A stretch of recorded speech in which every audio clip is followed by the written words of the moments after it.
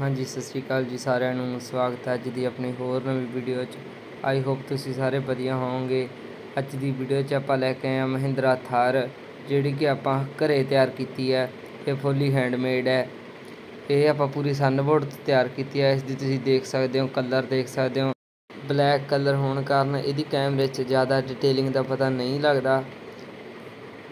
ਇਹਦਾ ਤੁਸੀਂ ਟਾਇਰ ਦੇਖ ਸਕਦੇ ਹੋ। ਟਾਇਰ ਵੀ ਆਪਾਂ ਸਨਬੋਰਡ ਤੋਂ ਹੀ ਤਿਆਰ ਕੀਤੇ ਆ ਟਾਇਰਸ ਦੀ ਤੁਸੀਂ ਸ਼ੇਪਸ ਦੇਖ ਸਕਦੇ ਹੋ, ਕਲਰ ਦੇਖ ਸਕਦੇ ਹੋ, ਪਿੱਛੇ ਸਟਿਪਨੀ ਵੀ ਇਸ ਦੀਆਂ ਲਾਈਟਸ ਦੇਖ ਸਕਦੇ ਹੋ ਤੁਸੀਂ, ਲਾਈਟਸ ਮੂਰੇ ਸ਼ੀਸ਼ੇ ਉੱਪਰ ਬਾਰ ਲਾਈਟ ਲੱਗੀ ਹੋਈ ਹੈ ਮੂਰੇ ਬੰਪਰ ਕੋਲ ਲਾਈਟਸ ਲੱਗੀਆਂ ਹੋਈਆਂ ਹਨ ਸੇਮ ਉਸੇ ਤਰ੍ਹਾਂ ਹੀ ਹਨ, ਪਿੱਛੇ ਵੀ ਲਾਈਟਸ ਦੇਖ ਸਕਦੇ ਹੋ ਤੁਸੀਂ ਸਾਈਡ ਮਿਰਰਸ ਵੀ ਦੇਖ ਸਕਦੇ ਹੋ, ਉਸੇ ਤਰ੍ਹਾਂ ਲੱਗੇ ਹੋਏ ਹੈਗੇ ਵਿੰਡੋ ਉੱਪਰ, ਜੇਕਰ ਕਿਸੇ ਵੀਰ ਨੇ ਇਹ ਖਰੀਦਣੀ ਹੋਵੇ ਤਾਂ ਉਹ ਕਮੈਂਟ ਕਰਕੇ ਦੱਸ ਸਕਦਾ ਹੈ, ਜੇਕਰ ਤੁਹਾਨੂੰ ਮੇਕਿੰਗ ਦੀ ਵੀਡੀਓ ਚਾਹੀਦੀ ਹੈ ਤਾਂ ਕਮੈਂਟ ਕਰਕੇ ਜ਼ਰੂਰ ਦੱਸਿਓ।